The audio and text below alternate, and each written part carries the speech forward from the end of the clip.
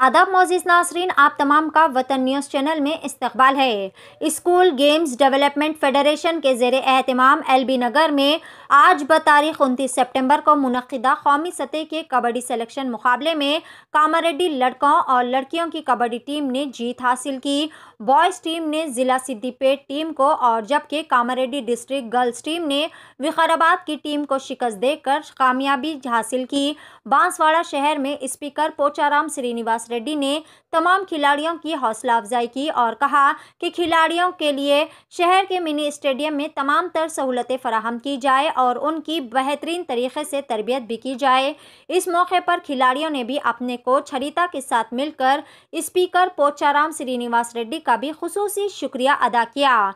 लड़कियों की टीम में B Anita Sandhya, Sangeeta K Monika, S Lakshmi, L Soni, N Sandhya Rani, K Kaveri, B Sumitra, Priyanka, Akshara, Geeta और लड़कों की team में K Shiva Kumar D Naveen, Vijay, Krishna, Shridhar, Sachin और दिगर ने भी हिस्सा लिया। आइए देखते हैं इस मौके के चंद मनाजिर। पेश है शहर बांसवाड़ा से हमारे नुमाइंदा रिपोर्टर आकिफ हुसैन की वतन न्यूज़ चैनल के लिए यह खसूस रिपोर्ट। मजीद ताज़ा तरीन खबरों से बाखबर रहने के लिए हमारे चैनल को ज़रूर सब्सक्राइब कर ले ताकि हमारी कोई भी लेटेस्ट न्यूज़ आपसे मिस ना हो पाए।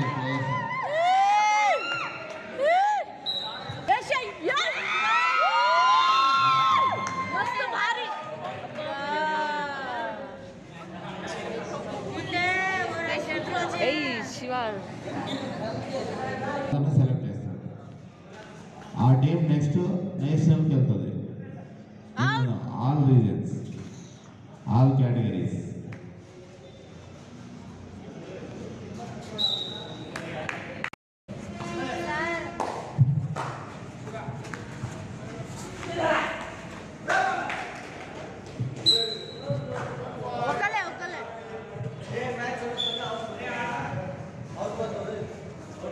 तुका चमकारी चाहिए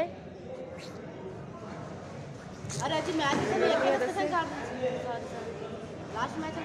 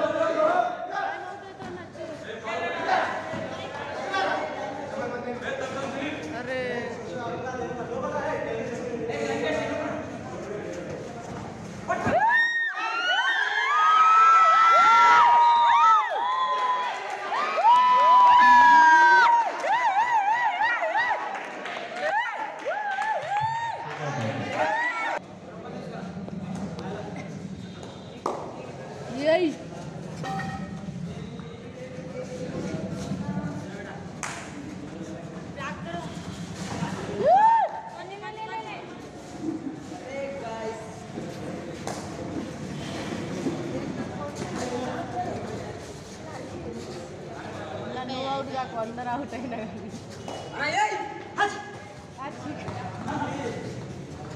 टाइम है टाइम